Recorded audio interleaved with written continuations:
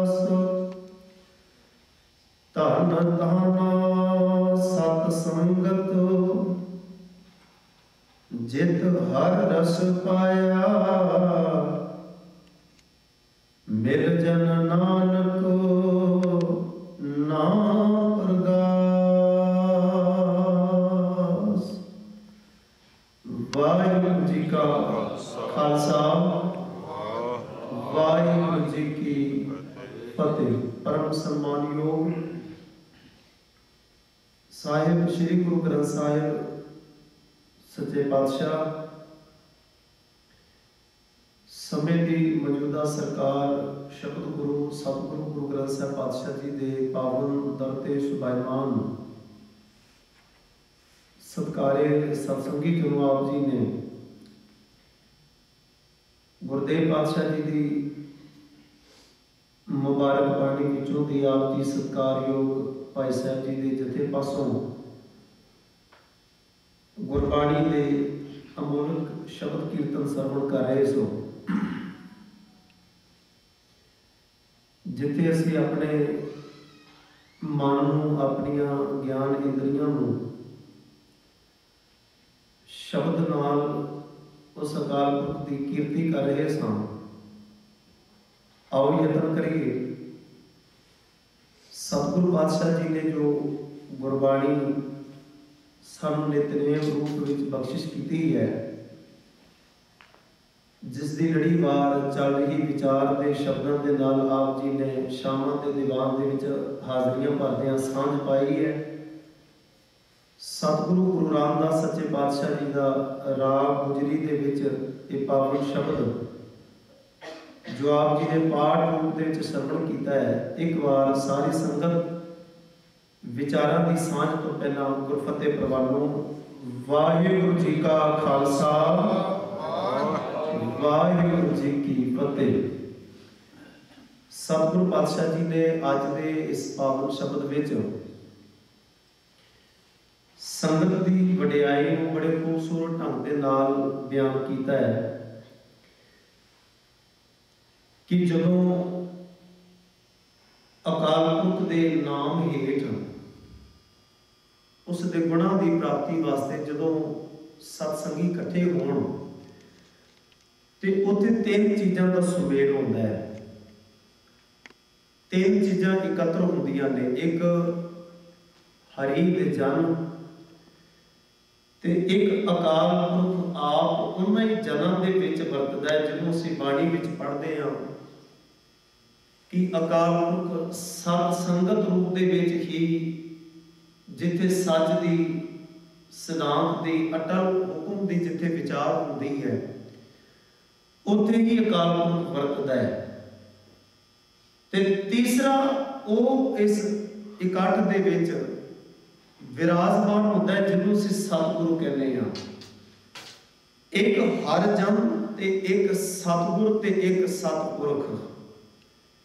ਇਹ ਤਿੰਨੋਂ ਚੀਜ਼ ਇਕੱਤਰ ਹੋ ਕੇ ਸਤ ਸੰਗਤ ਦਾ ਰੂਪ ਧਾਰਨ ਕਰਦੀਆਂ ਨੇ। ਜਿੱਥੇ ਇਕੱਠ ਤਾਂ ਹੋਵੇ ਤੇ ਅਕਾਲ ਪੁਰਖ ਦੀ ਕੋਈ ਗੱਲ ਨਾ ਹੋ ਰਹੀ ਹੋਵੇ, ਉਹ ਸਤ ਸੰਗਤ ਨਹੀਂ। ਹਾਂ, ਜਿੱਥੇ ਅਕਾਲ ਪੁਰਖ ਦੀ ਵੀ ਗੱਲ ਹੋ ਰਹੀ ਹੋਵੇ ਤੇ ਇਕੱਠ ਵੀ ਹੋਵੇ, ਪਰ ਸਤਿਗੁਰ ਦੇ ਗਿਆਨ ਤੋਂ ਬਗੈਰ ਹੋ ਰਹੀ ਹੋਵੇ, ਉਹ ਵੀ ਸਤ ਸੰਗਤ ਨਹੀਂ। ਕਿਉਂਕਿ ਕਈ ਵਾਰ ਅਜਿਹਾ ਹੁੰਦਾ ਹੈ ਕਿ ਅਸੀਂ ਧਰਮ ਦੇ ਨਾਮ ਤੇ ਬਹੁਤ ਉਪਰਾਲਾ ਕਰਦੇ ਹਾਂ, ਯਤਨ ਕਰਦੇ ਹਾਂ, ਕਰਮ ਕਰਦੇ ਹਾਂ। ਪਰ ਕਈ ਵਾਰੀ ਸਾਡੇ ਉਹਨਾਂ ਕਰਮਾਂ ਦੇ ਵਿੱਚ, ਸਾਡੇ ਉਦਮ ਦੇ ਵਿੱਚ, ਸਾਡੇ ਧਾਰਮਿਕ ਸੰਸਕਾਰ, ਸਮਾਗਮ ਦੇ ਵਿੱਚ ਕਈ ਵਾਰੀ ਗੁਰੂ ਨੂੰ ਪਾਸੇ ਕਰ ਦਿੱਤਾ ਜਾਂਦਾ ਹੈ। ਗੁਰੂ ਕੀ ਹੈ? ਸੱਚ ਦੀ ਵਿਚਾਰਧਾਰਾ। ਜਿਹਨੂੰ ਸਤਿਗੁਰੂ ਆਖਿਆ ਉਹ ਗਿਆਨ। ਜਿਹੜਾ ਸਤਿਗੁਰੂ ਗੁਰੂ ਗ੍ਰੰਥ ਸਾਹਿਬ ਜੀ ਦੀ ਵਿਚਾਰਧਾਰਾ ਸਾਡੇ ਸਾਹਮਣੇ ਰੱਖੀ ਗਈ ਹੈ। ਕਈ ਵਾਰੀ ਇਸ ਨੂੰ ਪਾਸੇ ਕਰਕੇ ਅਸੀਂ ਧਰਮ ਦਾ ਕਰਮ ਕਰ ਰਹੇ ਹੁੰਦੇ ਹਾਂ। ਉਸ ਇਕੱਠ ਦਾ ਨਾਮ ਵੀ ਸਤ ਸੰਗਤ ਨਹੀਂ ਹੈ ਉੱਥੇ ਕਈ ਵਾਰੀ ਕਿਸੇ ਹੋਰ ਦਾ ਫੈਸਲਾ ਵੀ ਸਾਂਝਾ ਕੀਤਾ ਜਾ ਸਕਦਾ ਹੈ, ਕਿਸੇ ਹੋਰ ਦੀ ਬਰਿਆਈ, ਮਰਿਆਦਾ। ਉਹ ਸਤ ਸੰਗਤ ਰੂਪ ਦੇ ਵਿੱਚ ਕਈ ਵਾਰੀ ਸਾਂਝੇ ਕਰ ਰਹੇ ਹੁੰਦੇ ਨੇ, ਪਰ ਗੁਰਬਾਣੀ ਦੇ ਅਕੋਰਡਿੰਗ ਉਹ ਸੰਗਤ ਨਹੀਂ ਹੈ। ਅੱਜ ਦੇ ਸ਼ਬਦ ਵਿੱਚ ਸਤਿਗੁਰ ਨੇ ਇਹ ਤਿੰਨੋਂ ਚੀਜ਼ਾਂ ਇਕੱਤਰ ਕਰਕੇ ਸਾਡੇ ਸਾਹਮਣੇ ਰੱਖ ਦਿੱਤੀਆਂ ਨੇ। ਔਰ ਅਰਦਾਸ ਕਰਕੇ ਆਖਿਆ, ਮੇਰੇ ਮੀਤ ਗੁਰਦੇਵ हे ਮੇਰੇ ਗੁਰਦੇਵ, ਤੂੰ ਮੇਰਾ ਮਿੱਤਰ ਹੈ। ਕਿਉਂਕਿ ਮਿੱਤਰ ਦੁੱਖ ਵੇਲੇ ਕੰਮ ਆਉਂਦਾ ਹੈ, ਮਿੱਤਰ ਜਿਹੜਾ ਹੈ, ਉਹ ਮਦਦਗਾਰ ਹੁੰਦਾ ਹੈ। ਤੇ ਮੈਂ ਸੁਣਿਆ ਕਿ ਗੁਰੂ ਜਿਹੜਾ ਹੈ ਨਾ, ਉਹ ਜੀਵਨ ਦੇ ਸਫ਼ਰ ਦੇ ਦਰਮਿਆਨ ਬੜੀ ਮਦਦ ਕਰਦਾ ਹੈ। ਬਸ ਇੱਕ ਵਾਰੀ ਉਸ ਗੁਰੂ ਕੋਲੋਂ ਕੋਈ ਸਲਾਹ ਲਵੇ ਸਹੀ। ਗੁਰੂ ਕੋਲੋਂ ਕੋਈ ਪੁੱਛੇ ਤੇ ਉਹ ਗੁਰੂ ਸਲਾਹ ਜ਼ਰੂਰ ਦੇ ਸਕਦਾ ਹੈ, ਤੈਨੂੰ ਤੁਰਨਾ ਆਪ ਪੈਣਾ ਤੇ ਅਜਿਹਾ ਉਹ ਮਿੱਤਰ ਨਹੀਂ ਕਿ ਜਿਹੜਾ ਤੇਰੇ ਕੋਲੋਂ ਕੁਝ ਬਦਲੇ ਰੂਪ ਵਿੱਚ ਚਾਹੁੰਦਾ ਹੋਵੇ, ਕਿਉਂਕਿ ਗੁਰਦੇਵ ਨੇ ਬਾਣੀ ਵਿੱਚ ਨਾ ਦੋ ਵੱਖ-ਵੱਖ ਮਿੱਤਰਾਂ ਦੀ ਗੱਲ ਕੀਤੀ ਹੈ। ਇੱਕ ਮਿੱਤਰ ਉਹ ਹੈ ਜਿਹਦੇ ਬਾਰੇ ਗੁਰੂ ਕਹਿੰਦੇ ਨੇ, ਮਨਮੁਖਾਂ ਕੇਰੀ ਦੋਸਤੀ। ਦੋਸਤੀ ਦਾ ਅਰਥ ਵੀ ਮੀਤ ਹੁੰਦਾ ਹੈ। ਮਨਮੁਖਾਂ ਕੇਰੀ ਦੋਸਤੀ, ਮਾਇਆ ਕਾ ਸੰਬੰਧ। ਵੇਖਦਿਆਂ ਹੀ ਭੱਜ ਜਾਣ, ਕਦੇ ਨਾ ਪਾਏ ਨਕੰਡ ਜਿਚਰ ਪੈਨਨ ਖਾਵਦੇ। ਉਹ ਸਵਾਰਥੀ ਹੁੰਦੇ ਨੇ। ਉਹ ਮਿੱਤਰ ਜ਼ਰੂਰ ਬਣਦੇ ਨੇ, ਪਰ ਕੁਝ ਚਾਹੁੰਦੇ ਨੇ ਇਹਦੇ ਕੋਲੋਂ, ਕਿੰਨਾ ਕੁ ਮੈਂ ਕਢਾ ਸਕਦਾ ਹਾਂ ਜਿੱਚਰ ਪੈਨਨ ਖਾਵਦੇ, ਤਿੱਚਰ ਰਖਨ ਗੰਢ, ਉਦੋਂ ਤੱਕ ਗੰਢ ਪਾ ਕੇ ਰੱਖਣਗੇ, ਉਦੋਂ ਤੱਕ ਬੜੇ ਦਾਅਵੇ ਕਰਨਗੇ ਕਿ ਮੈਂ ਤੇਰਾ ਸਕਾ ਮਿੱਤਰ ਹਾਂ, ਮੈਂ ਤੇਰਾ ਭਰਾ ਮੰਗਰ ਹਾਂ। ਗੁਰੂ ਕਹਿੰਦੇ ਨੇ ਇੱਕ ਇੱਕ ਕਿਸਮ ਹੈ। ਜਿੱਚਰ ਪੈਨਨ ਖਾਵਦੇ ਤਿੱਚਨ ਰਖਨ ਗੰਢ ਜਿਤ ਦਿਨ ਕਛੂ ਨਾ ਹੋਵਈ। ਤਿੰਨ ਦਿਨ ਬੋਲਣ ਕੰਦ ਇਹ ਵੀ ਮਿੱਤਰ ਨੇ? ਤੇ ਇੱਕ ਉਹ ਕਿਸਮ ਵੀ ਬਾਣੀ ਚ ਮਿੱਤਰ ਆਖਿਆ ਗਿਆ ਜਿਨ੍ਹਾਂ ਦਸੰਦੜਿਆਂ ਦੁਰਮਤ ਵੰਜੇ ਮਿੱਤਰ ਅਸਾ ਡੜੇ ਸੇ। ਇਹ ਵੀ ਮਿੱਤਰ ਨੇ। ਇੱਕ ਉਹ ਨੇ ਜਿਹੜੇ ਕਹਿੰਦੇ ਨੇ, ਚੱਲ ਚਲੀਏ, ਸ਼ਾਮਾਂ ਪੈ ਜਾਣ ਤੇ ਚਾਰ ਪੰਜ ਜਾਣਿਆਂ ਨੂੰ ਫੋਨ ਕਰਕੇ ਤੇ ਕਿਸੇ ਇੱਕ ਨੂੰ ਕਹਿਣਗੇ, ਤੂੰ ਬੋਤਲ ਖਰੀਦ ਲਿਆ ਤੇ ਤੂੰ ਨਮਕੀਨ ਲੈ ਆ। ਚਾਰਾਂ ਨੇ ਇਕੱਠੇ ਹੋਣਾ ਤੇ ਇਹ ਵੀ ਇਕੱਠ ਹੀ ਹੈ। ਤੇ ਇਹ ਆਪਣੇ ਆਪ ਨੂੰ ਮਿੱਤਰ ਇੱਕ ਦੂਜੇ ਦਾ ਸਮਝਦੇ ਨੇ ਤੇ ਇੱਕ ਉਹ ਕਿਸਮ ਦੇ ਨੇ ਜਿਨ੍ਹਾਂ ਕੋਲ ਬੈਠਿਆਂ ਜਿਹੜੀ ਥੋੜੀ ਬਹੁਤੀ ਭੈੜੀ ਸੋਚ ਵੀ ਹੋਵੇ ਨਾ, ਉਹ ਵੀ ਜਾਂਦੀ ਰਹਿੰਦੀ ਹੈ। ਉਹ ਵੀ ਮੁੱਕ ਜਾਂਦੀ ਹੈ। ਜਿਨ੍ਹਾਂ ਦਸੰਗੜਿਆਂ ਦੁਰਮਤ ਵੰਜੈ ਭੈੜੀ ਮੱਤ ਜਿਨ੍ਹਾਂ ਕੋਲ ਬਹਿ ਕੇ ਮੁੱਕ ਅਸੀਂ ਤਾਂ ਹੀ ਤਾਂ ਅਰਦਾਸ ਵਿੱਚ ਰੋਜ਼ ਰੋਜ਼ ਤਰਲਾ ਕਰਕੇ ਕਹਿੰਦੇ ਆ ਸਤਿਗੁਰ ਜੀ, ਆਪਾਂ ਅਰਦਾਸ ਵਿੱਚ ਇਹ ਲਫ਼ਜ਼ ਵਰਤਦੇ ਆ ਨਾ, ਉਹ ਪਿਆਰੇ ਮਿਲਾਪ ਜਿਨ੍ਹਾਂ ਦੇ ਕੋਲ ਟੁਕਿਆ ਕੇਵਲ ਅਕਾਲ ਪੁਰਖ ਹੀ ਚੇਤੇ ਆਵੇ। ਆਪਾਂ ਅਰਦਾਸ ਵਿੱਚ ਸਾਰੇ ਜਣੇ ਕਹਿੰਦੇ ਆ ਸਤਿਗੁਰ ਪਾਤਸ਼ਾਹ ਜੀ, ਸਹੀ ਪਿਆਰੇ, ਮਿਲੋ। ਜਿਨ੍ਹਾਂ ਮਿਲਿਆ ਜਿਨ੍ਹਾਂ ਕੋਲ ਜਾਇਆ, ਜਿਨ੍ਹਾਂ ਦੇ ਨਾਲ ਸਾਂਝ ਕੀਤੇ ਆ, ਤੇਰਾ ਨਾਮ ਚਿਤ ਆਵੇ। ਬਸ, ਤੂੰ ਹੀ ਕੇਵਲ ਚਿੱਤੇ ਵਿੱਚ ਆਵੇਂ, ਹੋਰ ਕੋਈ ਖਿਆਲ ਨਾ ਹੋਵੇ। ਉਹ ਪਿਆਰੇ, ਅਸੀਂ ਅਰਦਾਸ ਤੇ ਕਰਦੇ ਆ ਪਰ ਮੈਨੂੰ ਮਾਫ ਕਰਿਓ ਕਿ ਬਾਕੀ ਪਿਆਰੇ ਲੱਭਦੇ ਆ। ਪਿਆਰੇ ਭਾਲਦੇ ਆ।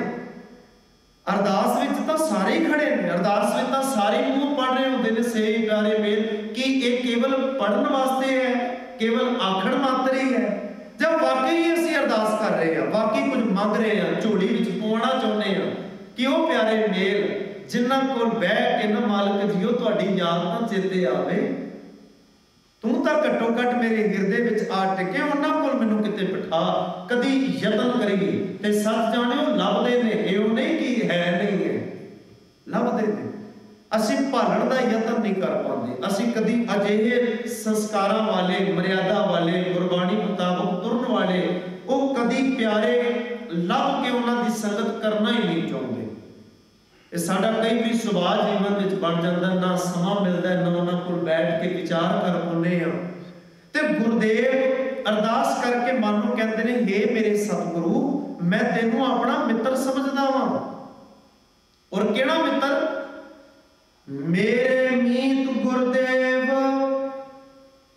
ਮੋਕੋ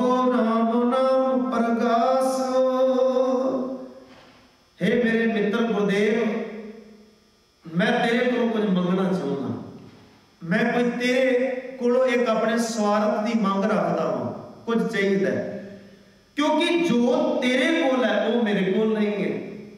ਤੇ ਮਿੱਤਰ ਦਾ ਤੇ ਤਾਂ ਹੀ ਫਾਇਦਾ ਨਾ ਕਿ ਉਹ ਸਾਥ ਦਵੇ। ਮੇਰੇ ਜੀਵਨ ਦੇ ਵਿੱਚ ਵੀ ਜਿੱਥੇ ਗਿਰਾਵਟ ਆ ਰਹੀ ਹੈ, ਉਹ ਗਿਰਾਵਟ ਨੂੰ ਹਟਾ ਕੇ ਮੈਨੂੰ ਆਪਣੇ ਨਾਲ ਦਾ ਸਾਥੀ ਬਣਾ ਦੇਵੇ। ਤੇ ਤੇਰੇ ਕੋਲ ਮੈਂ ਸੁਣਿਆ ਅਕਾਲ ਪੁਰਖ ਦਾ ਨਾਮ ਹੈ। ਮੈਂ ਸੁਣਿਆ ਕੇਵਲ ਤੇਰੇ ਕੋਲ ਹੀ ਅਕਾਲ ਪੁਰਖ ਦੇ ਨਾਮ ਹੈ, ਉਹਦੀ ਸਚਾਈ ਹੈ, ਉਹ ਹੈ ਕੀ ਹੈ ਕਿਤੇ ਹੈ, ਉਹ ਤੈਨੂੰ ਪਤਾ ਹੈ। ਤੇ ਤੇਰੇ ਕੋਲ ਮੈਂ ਤਰਲਾ ਕਰਦਾ ਵਾਂ, ਮੇਰੇ ਮੀਤ ਗੁਰਦੇਵ ਮੋਕੋ ਰਾਮ ਨਾਮ ਪ੍ਰਗਾਸ। ਪ੍ਰਗਾਸ ਦਾ ਅਰਥ ਹੈ ਚਾਨਣ, ਪ੍ਰਗਟ ਕਰ ਦੇਣਾ। ਹੁਣ ਇੱਥੇ ਇੱਕ ਧਿਆਨ ਦਿਓ ਜੇ ਸ਼ਬਦ ਵੱਲ ਜਦੋਂ ਅਸੀਂ ਘਰ ਦੇ ਵਿੱਚ ਬਲਬ ਬਾਲਦੇ ਨਾ ਕਿਉਂਕਿ ਸਾਨੂੰ ਹਨੇਰੇ ਤੋਂ ਡਰ ਹੈ, ਹਨੇਰੇ ਤੋਂ ਖੌਫ ਹੈ ਪਰ ਹਨੇਰਾ ਜਿਹੜਾ ਨਾ ਉਹ ਰੁਕਾਵਟ ਖੜੀ ਕਰਦਾ ਹੈ। ਇਸੇ ਕਰਕੇ ਕਿਸੇ ਨੇ ਹਨੇਰੇ ਨੂੰ ਪਸੰਦ ਨਹੀਂ ਕੀਤਾ। ਹਮੇਸ਼ਾ ਅਸੀਂ ਦਿਨ ਨੂੰ ਹੀ ਬਹੁਤਾ ਲਾਈਕ ਕਰਦੇ ਹਾਂ ਜਾਂ ਰਾਤ ਵੀ ਹੁੰਦੀ ਤੇ ਦਿਨ ਮਗਰ ਚਾਨਣ ਪੈਦਾ ਕਰਕੇ ਕੰਮ ਕਰਨਾ ਚਾਹੁੰਦੇ ਹਾਂ। ਰਾਤ ਵੇਲੇ ਨਾ ਕੁਝ ਨਜ਼ਰ ਆਉਂਦਾ, ਇੱਥੋਂ ਤੱਕ ਕਿ ਰਾਤ ਵੇਲੇ ਰਾਹ ਵੀ ਨਹੀਂ ਨਜ਼ਰ ਆਉਂਦੇ। ਔਰ ਗੁਰਦੇਵ ਨੇ ਬਾਣੀ ਚਾਹ ਕੇ ਨਾ, ਅੰਧੇਰੇ ਰਾਹ ਨਾ ਕੋਈ ਕੋਈ ਰਾਹ ਵੀ ਨਹੀਂ ਹੁੰਦਾ। ਤੁਰਾਂਗੇ ਤੇ ਪਹੁੰਚਾਂਗੇ ਨਾ। ਰਾਹ ਹਨੇਰੇ 'ਚ ਮੁੱਕ ਜਾਂਦੇ ਨੇ। ਨਜ਼ਰ ਨਹੀਂ ਆਉਂਦੇ। ਤੇ ਅਸੀਂ ਆਪਣੇ ਘਰ ਦੇ ਵਿੱਚ ਚਾਹੁੰਦੇ ਹਾਂ, ਚਾਨਣ ਹੋਵੇ, ਇਹ ਚਾਨਣ ਦੇ ਵਿੱਚ ਬੈਠ ਸਕੀਏ, ਚਾਨਣ 'ਚ ਕਰਮ ਕਰ ਸਕੀਏ, ਕੋਈ ਕੰਮ ਕਰਨਾ ਹੋਵੇ ਘਰ ਦਾ, ਤਾਂ ਚਾਨਣ ਚਾਹੀਦਾ ਰਾਤ ਵੇਲੇ ਕਮਰੇ ਵਿੱਚ ਜਦੋਂ ਅਸੀਂ ਐਂਟਰ ਹੁੰਦੇ ਹਾਂ, ਸਭ ਤੋਂ ਪਹਿਲਾਂ ਅਸੀਂ ਬਟਨ ਤੇ ਹੱਥ ਧਰਦੇ ਹਾਂ ਜਾ ਕੇ, ਸਵਿਚ ਤੇ ਕਿ ਲਾਈਟ ਆਨ ਹੋਏਗੀ ਤਾਂ ਅੰਦਰ ਕੁਝ ਦਿਖੇਗਾ। ਕਈ ਵਾਰੀ ਪਤਾ ਹੁੰਦਾ ਇੱਥੇ ਟੀਵੀ ਰੱਖਿਆ ਇੱਥੇ ਫ੍ਰਿਜ ਰੱਖਿਆ ਇੱਥੇ ਬੈੱਡ ਪਿਆ ਹੈ। ਕਈ ਵਾਰੀ ਆਪ ਰੱਖਿਆ ਹੁੰਦਾ ਹੈ, ਹਨੇਰੇ ਕਰਕੇ ਆਪ ਹੀ ਠੋਕਰਾਂ ਲਵਾ ਦਿੰਦੇ ਆ। ਪਤਾ ਕੁਝ ਨਹੀਂ ਲੱਗਦਾ ਹਨੇਰੇ ਕਰਕੇ। ਜਦੋਂ ਅਸੀਂ ਆਪਣੇ ਘਰ ਕੁਝ ਬਲਬ ਲਵਾਉਣਾ ਚਾਹੁੰਦੇ ਹਾਂ ਕਿ ਚਾਨਣ ਵਾਸਤੇ, ਤੇ ਧਿਆਨ ਦਿਓ ਜੇ ਪਿੱਛੋਂ ਬਿਜਲੀ ਆ ਰਹੀ ਹੈ, ਪਰ ਉਹ ਨਜ਼ਰ ਨਹੀਂ ਸੀ ਆ ਰਹੀ। ਉਹ ਨਜ਼ਰ ਕੋਈ ਨਹੀਂ ਆਉਂਦੀ। ਨਾ ਕਿਸੇ ਨੇ ਜਦੋਂ ਲਾਈਟ ਚਲੀ ਜਾਏ, ਤਾਂ ਅਸੀਂ ਕਹਿੰਦੇ ਜੀ, ਚਲੀ ਗਈ ਹੈ, ਕਿਸੇ ਨੇ ਜਾਂਦਿਆਂ ਵੇਖੀ ਹੈ। ਤੇ ਅਸੀਂ ਕਹਿੰਦੇ ਆ ਗਈ ਤੇ ਆਉਂਦੇ ਵੀ ਨਜ਼ਰ ਨਹੀਂ ਆਉਂਦੀ, ਉਹ ਕਿੱਥੋਂ ਪਤਾ ਲੱਗਦਾ ਹੈ? ਜਦੋਂ ਬਲਬ ਜਗਦਾ ਹੈ, ਜਦੋਂ ਚਾਨਣ ਹੁੰਦਾ ਹੈ।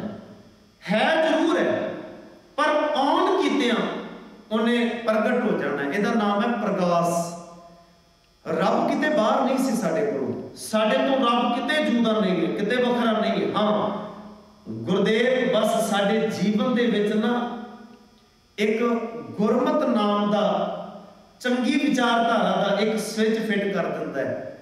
ਜਿਹੜਾ ਅਗਲਾ ਲਫ਼ਜ਼ ਹੈ ਨਾ, ਗੁਰਮਤ ਨਾਮ ਮੇਰਾ ਪ੍ਰਾਣ ਸਖਾਈ। ਅਕਾਲ ਪੁਰਖ ਸਾਡੇ ਤੋਂ ਜੁਦਾ ਥੋੜੀ ਸੀ, ਕੋਈ ਵੱਖਰਾ ਨਹੀਂ ਹੈ ਕਿ ਗੁਰਦੇਵ ਨੇ ਲਿਆ ਕੇ ਰੱਬ ਸਾਡੇ ਵਿੱਚ ਬਿਠਾ ਦੇਣਾ। ਉਹ ਵੱਖਰਾ ਲਿਆ ਕੇ ਨਹੀਂ ਬਿਠਾਉਂਦਾ। ਬਸ ਇੰਨੀ ਜਾਣਕਾਰੀ ਦਿੰਦਾ ਇਹ ਚਲਾਉਣਾ ਕਿਵੇਂ ਹੈ? ਇਹ ਬਾਲਣਾ ਕਿਵੇਂ? ਹਨੇਰਾ ਤਾਂ ਜ਼ਿੰਦਗੀ ਦਾ ਤਾਂ ਮੁੱਕੇਗਾ ਨਾ, ਬਾਲੇਗਾ ਤੇ। ਚਲਾਏਗਾ। ਉਹ ਕੇਵਲ ਪ੍ਰਕਾਸ਼ ਵਾਸਤੇ ਸਾਧਨ ਦੇ ਸਕਦਾ ਹੈ, ਸੋਝੀ ਦੇ ਸਕਦਾ ਹੈ ਉਹ ਤੈਨੂੰ ਕਰਨਾ ਪੈਂਦਾ ਯਤਨ ਤੈਨੂੰ ਕਰਨਾ ਪਏਗਾ। ਕਰਮ ਘਾਲਣਾ ਤੇਰੀ ਹੋਏਗੀ। ਇਸੇ ਕਰਕੇ ਤਰੋਜ ਕਹਿੰਦੇ ਜਿੰਨੀ ਨਾਮ ਤੇ ਆਇਆ, ਤੇ ਕਿਵੇਂ ਤੇ ਆਇਆ? ਗਏ ਮਸ਼ਕਤ ਕਾਲ ਉਹਨਾਂ ਨੇ ਘਾਲਣਾ ਕੀਤੀ ਹੈ ਮਸ਼ਕਤ ਕੀਤੀ ਹੈ। ਉਹ ਕੇਵਲ ਇਹ ਨਹੀਂ ਕਹਿੰਦੇ ਜੀ, ਕੋਈ ਮੇਰੇ ਕੰਨ ਦੇ ਵਿੱਚ ਆ ਕੇ ਨਾਮਦਾਨ ਪਾ ਦੇ ਤੇ ਚਲੋ ਮੈਂ ਨਾਮੀ ਬਣ ਜਾਵਾਂਗਾ। ਉਹ ਘਾਲਣਾ ਮਿਹਨਤ ਤੇ ਮਸ਼ਕਤ ਤੇ ਵਿਸ਼ਵਾਸ ਰੱਖਦੇ ਨੇ। ਤੇ ਉਹ ਨਾਮ ਕਿੱਥੋਂ ਮਿਲਣਾ ਜੀ ਹੁਣ? ਸਵਾਲ ਤੇ ਖੜਾ ਹੋ ਗਿਆ ਜੀ ਉਹ ਨਾਮ ਕਿੱਥੇ ਹੈ? ਤੇ ਗੁਰਦੇਵ ਕਹਿੰਦੇ ਨੇ, ਮੇਰੇ ਮੀਤ ਗੁਰਦੇਵ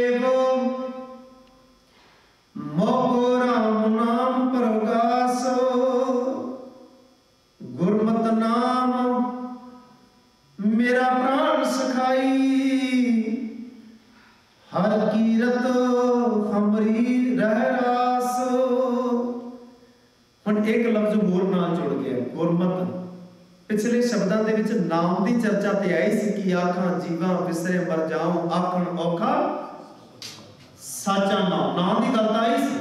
ਪਰ ਇਸ ਅਗਲੇ ਸ਼ਬਦ ਵਿੱਚ ਦੱਸ ਦਿੱਤਾ ਕਿ ਹੁਣ ਨਾਮ ਕਿਹੜਾ ਹੈ?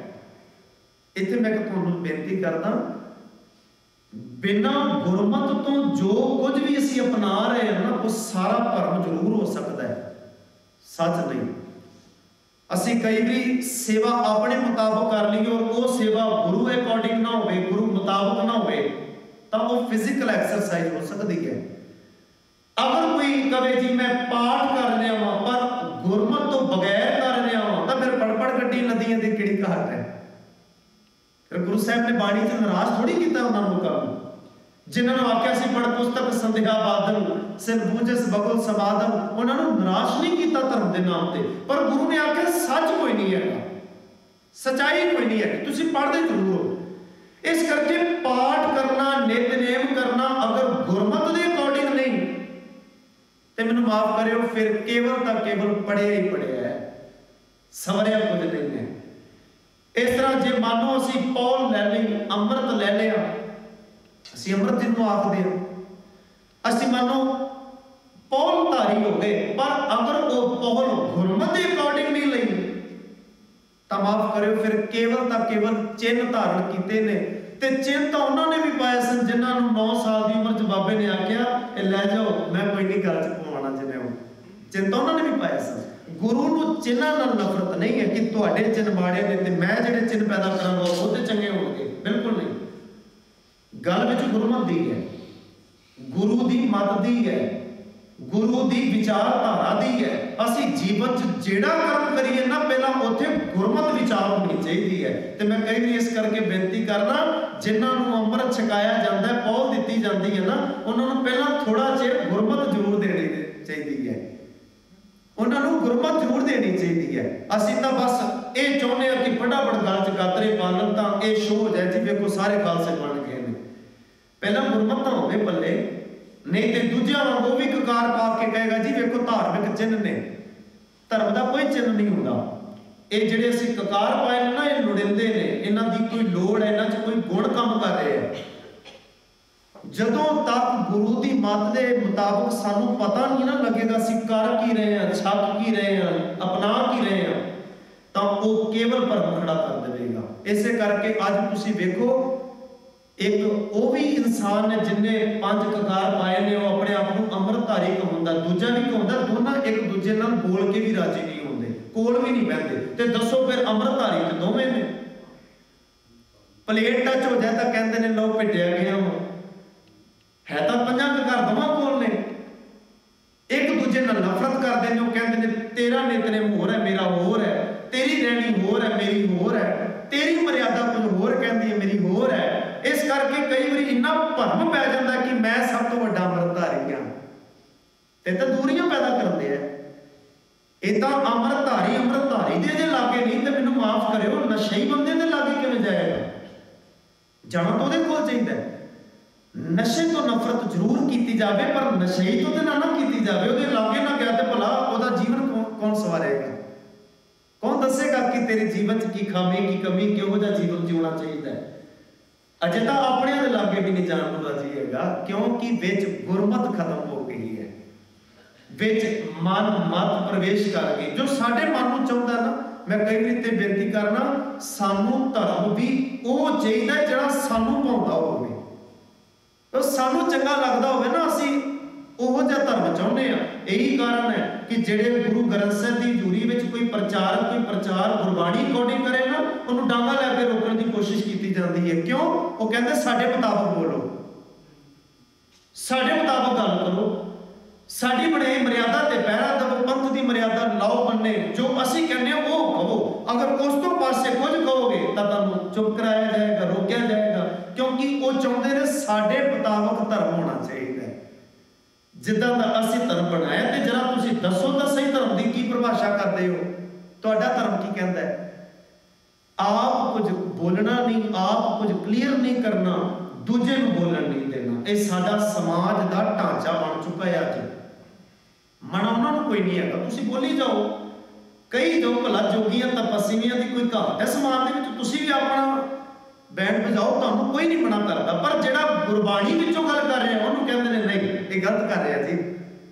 ਭਾਵੇਂ ਉਹ ਬਿਲਕੁਲ ਸਿਧਾਂਤ ਤੇ ਖਰਾ ਉਤਰਦਾ ਹੈ, ਸਿੱਖ ਰਹਿਤ ਮਰਿਆਦਾ ਦੀ ਗੱਲ ਕਰਦਾ ਹੈ, ਉਹਨੂੰ ਚੁੱਪ ਕਰਾਇਆ ਜਾਂਦਾ ਹੈ। ਤੇ ਇੱਥੇ ਗੁਰੂ ਰਾਮਦਾਸ ਸੱਚੇ ਪਾਤਸ਼ਾਹ ਕਹਿੰਦੇ ਨੇ, ਮੈਨੂੰ ਨਾਮ ਚਾਹੀਦਾ ਪਰ ਜਿਹੜਾ ਗੁਰਮਤ ਨਾਮ, ਜਿਹੜਾ ਗੁਰੂ ਦੀ ਮੱਤ ਵਿੱਚੋਂ ਨਿਕਲਿਆ ਹੋਇਆ ਨਾਮ ਹੋਵੇ, ਉਹ ਨਾਮ ਮੈਨੂੰ ਚਾਹੀਦਾ ਗੁਰਮਤ ਨਾਮ ਮੇਰਾ ਪ੍ਰਾਣ ਸਖਾਈ, ਜਿਹੜਾ ਮੇਰੇ ਪ੍ਰਾਣਾ ਦਾ ਸਖਾਈ ਮਿੱਤਰ ਬਣ ਸਕੇ। ਮੈਂ ਬਾਹਰੋਂ ਬਾਹਰੋਂ ਨਾਮ ਜਪੀ ਜਾਵਾਂ। ਪ੍ਰਾਣ ਮੇਰੇ ਅੰਦਰ ਤਪਰੇ ਹੋਣ। ਪ੍ਰਾਣ ਮੇਰੇ ਅੰਦਰ ਜਿਹੜੇ ਨੇ ਉਹ ਸੁੱਕੇ ਹੀ ਰਹਿਣ ਮੈਂ ਬਾਹਰੋਂ ਬਾਹਰੋਂ ਆਕੀ ਜਾਵਾਂ, ਜੀ, ਮੈਂ ਨਾਮੀ ਆ ਤਾਂ ਦੱਸੋ ਮੇਰੇ ਪ੍ਰਾਣਾ ਦੇ ਕੰਮ ਤਾਂ ਕੁਝ ਵੀ ਨਾ ਆਇਆ। ਤੇ ਬਾਹਰੋਂ ਬਾਹਰੋਂ ਮੈਂ ਜਪ ਲਿਆ, ਬਾਹਰੋਂ ਬਾਹਰੋਂ ਧਿਆਰਿਆ ਬਾਹਰੋਂ ਬਾਹਰੋਂ ਮੈਂ ਆਰਾਧ ਲਿਆ। ਮੇਰੇ ਪ੍ਰਾਣ ਦੇ ਕੰਮ ਆਵੇ। ਤੇ ਮੈਂ ਪਹਿਲਾਂ ਵੀ ਇਹ ਬੇਨਤੀ ਕੀਤੀ ਸੀ ਸਤਿਗੁਰੂ ਜੀ ਨੇ ਜੋ ਕੁਝ ਦਿੱਤਾ ਨਾ, ਉਹ ਜੀ ਦੇ ਨਾਲ ਜੋੜ ਕੇ ਦਿੱਤਾ ਹੈ। ਕਰਕੇ ਗੁਰਦੇਵ ਨੇ ਆਖਿਆ ਸੀ, ਇਹ ਜਿਨਿਓ ਜੀ ਕਾ। ਅਗਰ ਬਾਣੀ ਵੀ ਬਾਰੇ ਆਖੇ ਤੇ ਬਾਣੀ ਬਾਰੇ ਵੀ ਕਹਿ ਦਿੱਤਾ। ਇਹ ਬਾਣੀ ਜੋ ਜਿਉ ਜਾਣੇ ਇਸ ਅੰਤਰ ਰਵੇ ਹਰਨਾਮਾ। ਤੇ ਮੈਨੂੰ ਉਹ ਨਾਮ ਦਵੋ, ਜਿਹੜਾ ਗੁਰਬਾਣੀ, ਗੁਰਮਤ ਦੇ ਮੁਤਾਬਕ ਆਇਆ ਹੋਵੇ ਘਟ ਕੇ ਆਇਆ ਹੋਵੇ। ਗੁਰਮਤ ਨਾਮ ਮੇਰਾ ਪ੍ਰਾਣ ਸਖਾਈ। ਹਰ ਕੀਰਤ, ਹਮਰੀ ਰਹ ਰਾਸ। ਰਹ ਰਾਸ ਦਾ ਅਰਥ ਹੈ, ਰਾਹ ਕਹਿੰਦੇ ਨੇ ਰਾਮ। ਇਹ ਰਹਿ ਰਾਸ ਨਹੀਂ ਹੈ, ਰਹ ਰਾਸ, ਰਾਹ ਰਾਹ ਰਸਤਾ। ਤੇ ਰਾਸ ਦਾ ਅਰਥ ਹੁੰਦਾ ਹੈ ਪੂੰਜੀ, ਕੋਈ ਖਰਚਾ। ਮੈਂ ਜੀਵਨ ਆਪਣਾ ਧਰਮ ਦੀ ਦੁਨੀਆ ਤੇ ਅਗਰ ਚਲਾਵਾਂ, ਸਫ਼ਰ ਤੈਅ ਕਰਾਂ, ਤਾਂ ਮੈਨੂੰ ਰਾਹ ਵਿੱਚ ਖਰਚਾ ਤਾਂ ਚਾਹੀਦਾ ਨਾ। ਤੁਸੀਂ ਵੇਖੋ ਭਾਵੇਂ ਅਸੀਂ ਪਲੇਨ ਤੇ ਵੀ ਜਾਣਾ ਹੋਵੇ ਨਾ, ਫਿਰ ਵੀ ਅਸੀਂ ਕੁਝ ਪੱਲੇ ਲੈ ਕੇ ਜਾਂਦੇ ਆ ਤਾਂ ਕੁਝ ਲੋਡ ਪੈ ਜਾਏ। ਆਮ ਤੌਰ ਤੇ ਜਿਹੜੇ ਟ੍ਰੇਨਾਂ 'ਚ ਸਫ਼ਰ ਲੰਮੇ ਕਰਦੇ ਨੇ, ਉਹ ਕਹਿੰਦੇ ਨੇ, ਜੇ ਬਹੁਤਾ ਨਾਲ ਕੈਸ਼ ਨਹੀਂ ਨਾ ਕਰਨਾ ਤਾਂ ਚੈੱਕ ਹੀ ਨਾਲ ਲੈ ਲਓ ਵਜਨ ਨਹੀਂ ਚੁੱਕਣਾ, ਪਰ ਖੜਨਾ ਜ਼ਰੂਰ ਹੈ। ਤੇ ਅੱਜ ਸਾਧਨ ਹੋਰ ਆ ਗਏ ਕਿ ਚਲੋ, ਆਪਣੇ ਆਪ ਨਾਲ ਕਾਰਡ ਲੈ ਲਓ ਏਟੀਐਮ ਲੈ ਲਓ, ਚਾਹੀਦਾ ਜ਼ਰੂਰ ਹੈ ਨਾ। ਪਤਾ ਨਹੀਂ ਕਿੱਥੇ ਕਿਹੜੀ ਚੀਜ਼ ਦੀ ਲੋੜ ਪੈ ਜਾਏ, ਮੈਂ ਉੱਥੇ ਆਖਰ ਹੱਥ ਅੜਦਾ ਪਰ ਇਸ ਕਰਕੇ ਧਰਮ ਦੀ ਦੁਨੀਆ ਵਿੱਚ ਵੀ ਮੈਂ ਮੰਗਤਾ ਨਹੀਂ ਬਣਨਾ ਚਾਹੁੰਦਾ।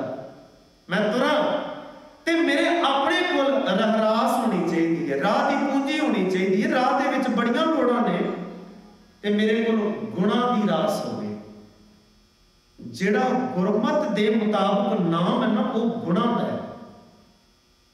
ਗੁਰਦੇਵ ਦੀ ਬਾਣੀ ਚੋ ਕੇ ਆਉਣ ਵਾਲੇ ਟਾਈਮ 'ਚ ਪੜਾਂਗੇ ਕਿ ਮੇਰੇ ਅੰਦਰ ਕੋਈ ਗੁਣ ਨਹੀਂ ਸੀ ਤੇ ਮੈਂ ਕੇਵਲ ਬਾਰੀ-ਬਾਰੀ ਧਰਮ ਦੇ ਦਾਅਵੇ ਉਦਾਰਨ ਕਰਦਾ ਸਾਂ। ਅੱਜ ਮੈਨੂੰ ਪਤਾ ਲੱਗਾ ਕਿ ਹਮ ਅਬ ਗੁਣ ਗੁਣ ਨਾ ਹੀ ਕੋਈ ਤੇ ਹੁਣ ਨਾਲ ਇਹ ਪਤਾ ਲੱਗ ਗਿਆ ਕਿ ਬਿਨ ਗੁਣ ਕੀਤੇ ਭਗਤ ਨਾ ਹੋਏ।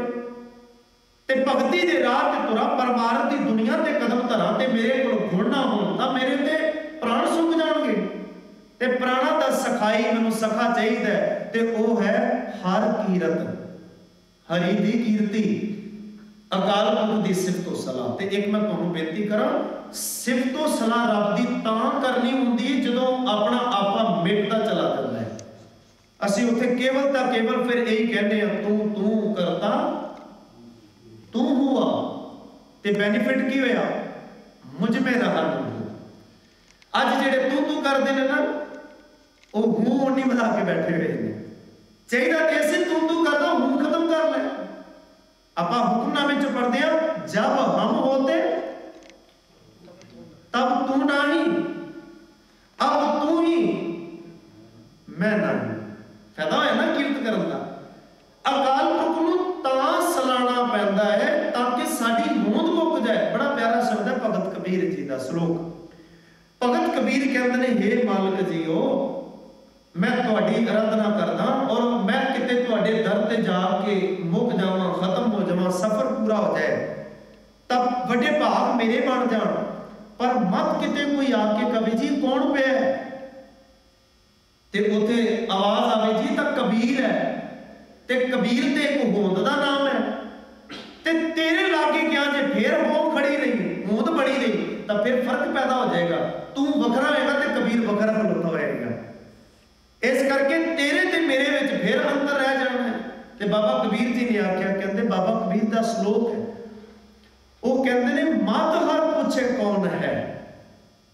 ਮਤੰਗ ਤੇਰਾ ਵੀ ਪੁੱਛ ਲਵੇ, ਜੀ ਇਹ ਕੌਣ ਪਿਆ ਇਹਦਾ ਮਤਲਬ, ਇਹ ਕਹਿਣ ਦਾ ਮਤਲਬ ਹੈ, ਰੱਬ ਵੱਖਰਾ ਤੇ ਉਹ ਕੁਝ ਵੱਖਰਾ ਹੀ ਹੈ ਜੀ। ਮਤ ਹਰ ਪੁੱਛੇ ਕੌਣ ਹੈ? ਪਰਾ ਹਮਾਰੇ। ਉਹ ਇਹ ਜਿਹੜਾ ਮੇਰੇ ਕੋਲ ਹੈ ਕੌਣ ਹੈ? ਇਸ ਕਰਕੇ ਮੈਂ ਚਾਹੁੰਦਾ ਕਬੀਰਾ ਤੂੰ, ਕਬੀਰ ਤੂੰ, ਤੇਰੋ ਨਾਮ। ਕਬੀਰ ਕਬੀਰ ਦਾ ਅਰਥ ਹੈ ਵੱਡਾ ਕੋਈ ਇਹ ਕਹਦੇ ਜੀ ਕਬੀਰ ਪਿਆ ਹੈ ਫਿਰ ਹਾਂ ਆ ਜਾਏਗੀ ਇਸ ਕਰਕੇ ਕਬੀਰ ਵੀ ਤੂੰ ਹੀ ਹੈ ਜੀ ਤੂੰ ਹੀ ਵੱਡਾ ਹੈ ਮੈਂ ਵੱਡਾ ਹਾਂ ਕਬੀਰ ਦਾ ਅਖਰੀ ਅਰਥ ਵੀ ਵੱਡਾ ਹੀ ਹੈ ਯਕ ਅਰਜ਼ ਗੁਫਤਮ ਪੇਸ਼ ਤੋਦਰ ਗੋਸ਼ਕੁਨ ਕਰਤਾਰ ਹੱਕਾ ਕਬੀਰ ਕਰੀਮ ਤੂੰ ਬੇਐਬ ਪਰਵਰਦਗਾਰ ਤੂੰ ਹੀ ਵੱਡਾ ਹੈ ਤੂੰ ਬੇਐਬ ਹੈ ਜਿਹਦੇ ਚ ਕੋਈ ਦਾਗ ਨਹੀਂ ਹੈ ਤੂੰ ਬੇਦਾਗੀ ਹੈ ਤੇ ਜਦੋਂ ਅਸੀਂ ਅਕਾਲ ਪੁਰਖ ਦੀ ਸਿਫਤ ਕਰਦੇ ਨਾ, ਇਸ ਗੱਲ ਦਾ ਖਾਸ ਕਰਕੇ ਧਿਆਨ ਰੱਖ ਕੇ ਕਰਨਾ ਪਏਗਾ, ਕਿਉਂਕਿ ਇਹ ਗੁਰਮਤ ਨਾਮ ਦਾ ਸਬਜੈਕਟ ਹੈ, ਇਹ ਜੋਗੀਆਂ ਵਾਲਾ ਕੋਈ ਨਾਮ ਨਹੀਂ ਹੈ। ਕੋਈ ਜਪ ਜਪ ਕੇ ਕਵੇ, ਜੀ ਵੇਖੋ, ਮੇਰੇ ਵਿੱਚ ਕੋਈ ਪਾਵਰ ਆ ਗਈ, ਮੇਰੇ 'ਚ ਕੋਈ ਤਾਕਤ ਹੈ ਤੇ ਆਮ ਲੋਕੀ ਹੀਣੇ ਤੁਰੇ ਫਿਰਦੇ ਨੇ। ਬਲਕਿ ਉਹ ਜਪਦੇ ਜਪਦੇ ਇਹ ਕਹਿੰਦਾ ਕਿ ਜਿਹੜੇ ਹੋਰ ਨੇ ਨਾ, ਮੈਨੂੰ ਇਹਨਾਂ ਵਿੱਚੋਂ ਵੀ ਉਹਨਾਂ ਰੱਬ ਨਜ਼ਰ ਆਉਣ ਲੱਗ ਪਿਆ ਤਾਂ ਹੋਂਦ ਮੁੱਕ ਗਈ ਤਾਂ ਹੋਂਦ ਮੁੱਕ ਜਦੋਂ ਆਪਣੇ ਆਪ ਨੂੰ ਵੱਖਰਾ ਸਾਬਤ ਕਰਨ ਦਾ ਕੋਈ ਬੰਦਾ ਕੋਸ਼ਿਸ਼ ਤੇ ਲੱਗਾ ਹੋਇਆ ਨਾ, ਹੋਂਦ ਬਣਾ ਕੇ ਬੈਠਾ ਹੈ ਆ ਸੰਤ ਲਫ਼ਜ਼ ਆਪਣੇ ਨਾਮ ਨਾਲ ਲਵਾਣਾ ਕੀ ਹੈ ਦੱਸੋ ਹੁਣ? ਨਾਮੀ ਹੋਣਾ ਜਾਂ ਹੋਂਦ ਪੱਕੀ ਕਰੀ ਜਾਣਾ ਆਪਣੇ ਨਾਮ ਨਾਲ ਬ੍ਰਹਮ ਗਿਆਨੀ ਲਵਾਣਾ ਲਫ਼ਜ਼ ਮਾਣਾ ਨਹੀਂ ਸੀ। ਲਫ਼ਜ਼ ਮਾਣਾ ਨਹੀਂ, ਬ੍ਰਹਮ ਗਿਆਨੀ ਆਪਣੇ ਨਾਮ ਨਾਲ ਲਾ ਖੁਦ ਲਵਾਉਣਾ ਸੰਤ ਲਵਾਉਣਾ ਬਾਬਾ ਲਵਾਉਣਾ ਇਹ ਇਸ ਗੱਲ ਦਾ ਪ੍ਰਤੀਕ ਹੈ ਕਿ ਆਪਣੀ ਹੋਂਦ ਇਤਨੀ ਮਜ਼ਬੂਤ ਕਰ ਲੈਣਾ ਚਾਹੁੰਦਾ ਹੈ, ਇਹ ਤਾਂ ਬੰਦਿਆਂ ਨਾਲੋਂ ਵੀ ਵੱਖ ਬਣ ਗਿਆ ਹੈ। ਤਾਂ ਰੱਬ ਦੇ ਨੇੜੇ ਕਿੱਥੇ ਹੋਏਗਾ? ਕਿੱਥੇ ਹੋਏਗਾ? ਚੱਲ ਇੱਥੇ ਹਰ ਮਿਲਨ ਕੋ। ਚੱਲਾ ਸੀ ਰੱਬ ਮਿਲਣ। ਬੀਚੇ ਅਟਕਿਓ ਚੀਤ। ਵਿੱਚੇ ਫਸ ਗਿਆ। ਨਾਮ ਦੇ ਕਰਕੇ ਵਿੱਚੇ ਫਸ ਗਿਆ। ਜਿਨ੍ਹਾਂ ਕੋਲ ਨਾਮ ਨਹੀਂ, ਉਹ ਤਾਂ ਦਾਗ ਰੱਖਦੇ ਨੇ ਜੀ, ਸਾਡੇ ਕੋਲ ਕੁਝ ਨਹੀਂ ਹੈਗਾ। ਸਾਡੇ ਨਾ ਪੱਲੇ ਗੁਣ ਹੈ, ਸਾਡੇ ਕੋਲ ਨਾ ਸਿੱਖੀ ਹੈ, ਨਾ ਮਰਿਆਦਾ ਹੈ। ਉਹ ਤਾਂ ਇਹ ਗੱਲ ਮੰਨਦੇ ਨੇ। ਪਰ ਜਿਹੜਾ ਲੈ ਕੇ ਤੁਰਿਆ ਜੀ, ਮੈਂ ਰੱਬ ਵਾਲੇ ਬੰਨੇ ਤੁਰਿਆ ਫਿਰ ਫਸ ਜਾਵੇ। ਤਾਂ ਕਿੱਡੇ ਮਾੜੇ ਭਾਗ ਨੇ ਉਸ ਇਨਸਾਨ ਦੇ। ਚਾਲੇ ਤੇ ਹਰ ਮਿਲਨ ਕੋ ਬੀਜੇ ਅਟਕਿਓ ਚੀਤ, ਸਿੱਖ ਸਾਖਾ ਬਹੁਤੇ ਕੀਏ, ਕੇਸੋ ਕੀਓ ਨੰਗੀਤ। ਰੱਬ ਤੇ ਮਿੱਤਰ ਬਣਿਆ ਕੋਈ ਨਹੀਂ। ਘਰੋਂ ਦੋ ਨਿਆਣੇ ਛੱਡ ਕੇ ਤੇ ਜਾ ਕੇ 2 ਲੱਖ ਚੇਲੇ ਬਣਾ ਕੇ ਬਹਿ ਗਿਆ ਤੇ ਕਹਿੰਦਾ ਜੀ, ਇਹ ਸਾਰੇ ਮੇਰੇ ਨੇ। ਫਸ ਗਿਆ ਨਾ। ਤੇ ਜਿਹਦੇ ਆਲੇ ਦੁਆਲੇ ਜ਼ਿਆਦਾ ਮੰਡਰਾਉਣ ਨਾ, ਇਸ ਗੱਲ ਦੀ ਨਿਸ਼ਾਨੀ ਇਹ ਨਹੀਂ ਪਹੁੰਚ ਸਕਦੀ। ਇਹ ਰਹਿ ਗਿਆ ਜਿਹਦੇ ਆਲੇ ਦੁਆਲੇ ਬਹੁਤੇ ਮੰਡਰਾਉਣ ਲੱਗ ਪਏ। ਤੇ ਗੁਰੂ ਕਹਿੰਦੇ ਨੇ, ਮੈਨੂੰ ਤੁਹਾਡੇ ਰਾਹੀਂ ਇੱਕ ਨਾਮ ਚਾਹੀਦਾ ਗੁਰੂ ਦੀ ਮੱਤ ਦੇ ਵਿੱਚੋਂ ਜਿਹੜਾ ਨਿਕਲ ਕੇ ਆਇਆ ਹੋਵੇ ਤੇ ਤਾਂ ਕਿ ਮੇਰੇ ਜੀਵਨ ਵਿੱਚ ਪ੍ਰਕਾਸ਼ ਹੋ ਜਾਏ, ਚਾਨਣ ਹੋ ਜਾਏ, ਤਾਂ ਗੁਰਦੇਵ ਪਾਤਸ਼ਾਹ ਅੱਗੇ ਕਹਿੰਦੇ ਨੇ, ਗੁਰਮਤਿ ਨਾਮ ਮੇਰਾ ਪ੍ਰਾਣ ਸਖਾਈ, ਹਰ ਕੀਰਤ ਅੰਮ੍ਰਿਤ ਹੈ ਰਾਸ।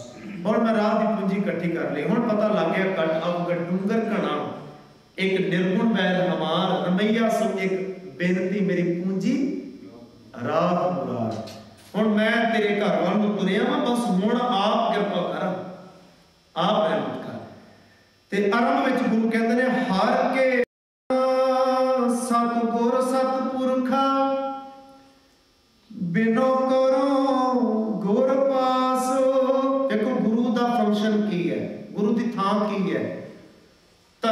ਦੁਨੀਆ ਦੇ ਵਿੱਚ ਨਾ ਗੁਰੂ ਦੀ ਬਹੁਤ ਵਡਿਆਈ ਹੈ। ਇਸ ਗੱਲ ਦੇ ਵਿੱਚ ਵਡਿਆਈ, ਇਸ ਗੱਲ ਤੇ ਥੋੜਾ ਜਿਹਾ ਧਿਆਨ ਦਿਓ ਜੇ। ਮੈਂ ਕਈ ਵਾਰੀ ਅਰਜ਼ ਕਰਦਾ ਕਿ ਜਿਸ ਹਿਰਦੇ ਦੇ ਵਿੱਚ ਗੁਰੂ ਅਜੇ ਨਹੀਂ ਨਾ ਆਇਆ, ਜਿਸ ਹਿਰਦੇ ਵਿੱਚ, ਜਿਸ ਮਤ ਵਿੱਚ ਅਜੇ ਗੁਰੂ ਪ੍ਰਵੇਸ਼ ਨਹੀਂ ਨਾ ਕੀਤਾ, ਮਾਫ ਕਰਿਓ ਤੇ ਰੱਬ ਵੀ ਨਹੀਂ ਆ ਸਕਦਾ। ਗੁਰੂ ਨੇ ਤਾਂ ਥਾਂ ਬਣਾਉਣੀ ਹੈ ਰੱਬ ਜੋਗੀ। ਜਿੱਥੇ ਜੇ ਗੁਰੂ ਹੀ ਕੋਈ ਨਹੀਂ ਆਇਆ, ਜਿੱਥੇ ਗੁਰਮਤ ਹੀ ਨਹੀਂ ਆਈ, ਉੱਥੇ ਰੱਬ ਕਿਵੇਂ ਆ ਜਾਏਗਾ?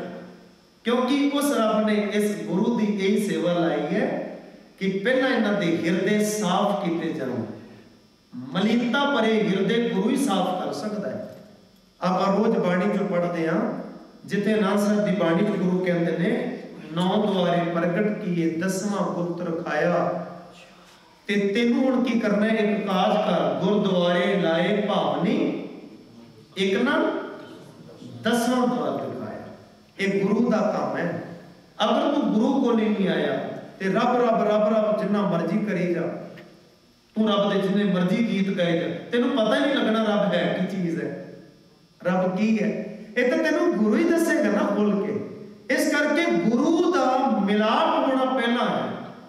ਗੁਰੂ ਨੂੰ ਮਿਲਣਾ ਪਹਿਲਾਂ ਤੇ ਇੱਥੇ ਗੁਰੂ ਰਾਮਦਾਸ ਸੱਚੇ ਪਾਤਸ਼ਾਹ ਕਹਿੰਦੇ ਨੇ हे ਮੇਰੇ ਮਾਲਕ ਜੀਓ, ਤੁਹਾਨੂੰ ਮਿਲਣ ਵਾਸਤੇ ਮੈਂ ਗੁਰੂ ਕੋਲ ਇੱਕ ਅਰਦਾਸ ਕੀਤੀ ਹੈ। ਔਰ ਵੇਖੋ ਕਿੱਡੇ ਪਿਆਰ ਦੇ ਵਿੱਚ ਭੇਜ ਕੇ ਨਾ ਆਪਣੇ ਗੁਰੂ ਨੂੰ ਰੱਬ ਦਾ ਹਰਜਨ ਕਹਿ ਰਹੇ ਨੇ।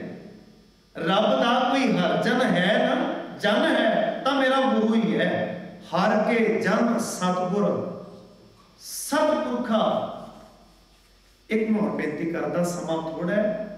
ਜਿੰਨਾ ਰਹਿ ਜਾਏ ਫਿਰ ਵਿਚਾਰ ਲਾਂਗੇ, ਪਰ ਅੱਖਰਾਂ ਨਾਲ ਵੀ ਧਿਆਨ ਦੇਈਏ। ਜਿਹੜਾ ਸਤਪੁਰਖ ਲਫ਼ਜ਼ ਹੈ ਨਾ, ਪੁਰਖ ਲਫ਼ਜ਼ ਨਾਲ ਜੁੜਿਆ ਹੈ। ਸੱਚ ਪੁਰਖ ਸਤਪੁਰਖ ਔਰ ਬਾਣੀ ਦੇ ਵਿੱਚ ਮਹਾਂਪੁਰਖ ਵੀ ਆਇਆ ਹੈ। ਤੇ ਇਹ ਵੀ ਨਾਲ ਕਹਿ ਦਿੱਤਾ ਗਿਆ ਹੈ, ਪੁਰਖ ਕੌਣ ਹੈ ਜੀ? ਇਸ ਜਗ ਮੈਂ ਪੁਰਖ ਇੱਕ ਹੈ। ਰੱਬ ਹੈ। ਤੇ ਮਾਂ ਦਾ ਅਰਥ ਹੁੰਦਾ ਵੱਡਾ ਅਰਥ ਸੱਚਾ ਸੱਚਾ ਪੁਰਖ, ਅਟਲ ਪੁਰਖ, ਵੱਡਾ ਪੁਰਖ, ਉਹ ਕੇਵਲ ਇੱਕ ਹੈ। ਅੱਜ ਕਿੱਡੇ ਦੁਖਾਂਤ ਦੀ ਗੱਲ ਹੈ, ਸਿੱਖ ਕੌਮ ਦੀ। ਅਸੀਂ ਤਾਂ ਬੰਦਿਆਂ ਨੂੰ ਮਹਾਂਪੁਰਖ ਕਹਿਣ ਲੱਗ ਪਏ ਹਾਂ। ਗੁਰਬਾਣੀ ਵਿੱਚ ਮਹਾਂਪੁਰਖ ਰੱਬ ਨੂੰ ਆਖਿਆ ਆ ਬਾਣੀ ਪੜ੍ਹ ਲਓ, ਗੁਰੂ ਕਹਿੰਦੇ ਨੇ, ਇਹ ਬਾਣੀ ਮਹਾਂਪੁਰਖ ਜਿਹੜੀ ਮੈਂ ਬਾਣੀ ਉਚਾਰਨ ਕਰਦੇ ਨਾ, ਇਹ ਮਹਾਂਪੁਰਖ ਦੀ ਹੈ। ਤੇ ਦੱਸੋ ਜੀ ਮਹਾਂਪੁਰਖ ਕੌਣ ਹੈ? ਕਹਿੰਦੇ, ਜੈਸੀ ਮੈਂ ਆਵੇ ਖਸਮ ਕੀ ਬਾਣੀ? ਖਸਮ ਹੀ ਤਾਂ ਮਹਾਂਪੁਰਖ ਹੈ। ਤੇ ਹੁਣ ਉਹ ਬਾਣੀ ਉਹਦੇ ਵਿੱਚੋਂ ਆਈ ਹੈ ਇਸ ਕਰਕੇ ਕਹਿੰਦੇ ਨੇ, ਵਾਹ ਵਾਹ, ਬਾਣੀ। ਕਲੀਅਰ ਹੋ ਗਿਆ ਨਾ? ਅਸੀਂ ਤਾਂ ਬੰਦਿਆਂ ਨੂੰ ਮਹਾਂਪੁਰਖ ਕਹਿਣ ਲੱਗ ਪਏ ਹਾਂ ਅੱਜ। ਸਾਡਾ ਦੁਖਾਂਤ ਹੀ ਇਹ ਹੈ। ਬੰਦਾ ਮਹਾਂਪੁਰਖ ਨਹੀਂ ਹੋ ਸਕਦਾ। ਬੰਦੇ ਬਾਰੇ ਤਾਂ ਗੁਰਬਾਣੀ ਕਹਿੰਦੀ ਹੈ, ਭੁੱਲਣ ਅੰਦਰ ਸਭ ਕੋ ਅਪੋਲੋ ਗੁਰੂ ਕਰਤਾਰ। ਜਿਸ ਨੂੰ ਮਹਾਂਪੁਰਖ ਕਹਿ ਰਹੇ ਹੋ ਤਾਂ ਭੁੱਲਣਹਾਰ ਹੈ। ਕਦਮ ਕਦਮ ਤੇ ਭੁੱਲ ਕਰ ਸਕਦਾ ਹੈ। ਮਹਾਂਪੁਰਖ ਕੇਵਲ ਇੱਕ ਹੀ ਹੈ। ਉਹ ਕਾਲ ਪੁਰਖ ਹੈ ਤੇ ਇੱਥੇ ਗੁਰੂ ਕਹਿੰਦੇ ਨੇ, ਹਰ ਕੇ ਜਨ ਸਤਿਗੁਰ ਸਤਿਪੁਰਖਾ ਬਿਨੋ ਕਰੋ ਗੁਰ ਪਾਸ। ਮੈਂ ਗੁਰੂ ਕੋਲ ਜਾ ਕੇ ਬਿਨੇ ਕਰਦਾ, ਬੇਨਤੀ ਕਰਦਾ, ਕਿਹੜੀ? ਹਮ ਕੀਰੇ ਕਿਰਮਾ ਅਸੀਂ ਤਾਂ ਕੀਰੇ ਕਿਰਮਾ ਅਸੀਂ ਤਾਂ ਮਾਮੂਲੀ ਦੇ ਕੀੜੇ ਆ। ਸਾਡੀ ਕੋਈ ਪਾਇਆ ਨਹੀਂ। ਸਾਡੀ ਕੋਈ ਤਾਕਤ ਨਹੀਂ, ਅਸੀਂ ਰੱਬ ਪਾ ਲਈਏ ਇਹ ਸਾਡੀ ਪਾਇਆ ਕੋਈ ਨਹੀਂ। ਤੇਰੇ ਕੋਲ ਆ ਕੇ ਅਸੀਂ ਇੱਕ ਅਰਦਾਸ ਕਰਦੇ ਹਾਂ। ਕਿਹੜੀ? ਹਮ ਕੀਰੇ ਕਿਰਮ, ਸਤਿਗੁਰ ਸ਼ਰਨਾਈ, ਕਰ ਦਇਆ। ਤੂੰ ਦਇਆ ਕਰ, ਤੇ ਦਇਆ ਕੌਣ ਕਰਦਾ ਹੈ? ਜਿਹੜਾ ਤਰਸ ਖਾਦਾ ਹੈ। ਤੇ ਤੇਰੇ ਦਰ ਤੇ ਅਸੀਂ ਤਾਂ ਆਉਂਦੇ ਆ ਤੇਰੇ ਕੋਲ ਤਾਂ ਆ ਕੇ ਅਰਦਾਸ ਕਰਦੇ ਆ ਤੂੰ ਦਇਆ ਕਰ ਸਾਡੇ ਤੇ ਕਿਤੇ ਤਰਸ ਖਾ।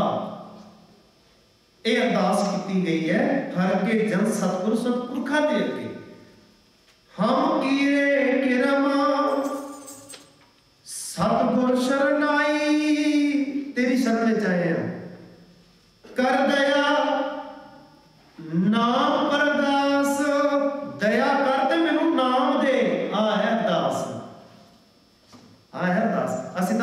ਤਾਂ ਉਹ ਕੁਝ ਆ ਜੋ ਆਲਰੇਡੀ ਸਾਨੂੰ ਪਹਿਲਾਂ ਹੀ ਮਿਲਿਆ ਹੋਇਆ ਹੈ। ਅਕਾਲ ਪੁਰਖ ਨੇ ਪਦਾਰਥ ਛੁਪਾ ਕੇ ਥੋੜੀ ਰੱਖੇ ਨੇ, ਸਾਰੇ ਸਾਡੇ ਸਾਹਮਣੇ ਰੱਖ ਦਿੱਤੇ ਨੇ। ਹੁਣ ਇਹ ਕਹਿ ਦਿੱਤਾ, ਮਿਹਨਤ ਕਰ ਇਕੱਠੇ ਕਰ ਸਕਦਾ ਉਹ ਕੁਝ ਛੁਪਾ ਕੇ ਨਹੀਂ ਰੱਖਦਾ। ਅਸੀਂ ਫਿਰ ਉਹ ਕਿਉਂ ਮੰਗੀਏ? ਉਹ ਕਿਉਂ ਮੰਗੀਏ ਜੋ ਪਹਿਲਾਂ ਹੀ ਉਹਨੇ ਰੱਖਿਆ ਹੋਇਆ ਹੈ?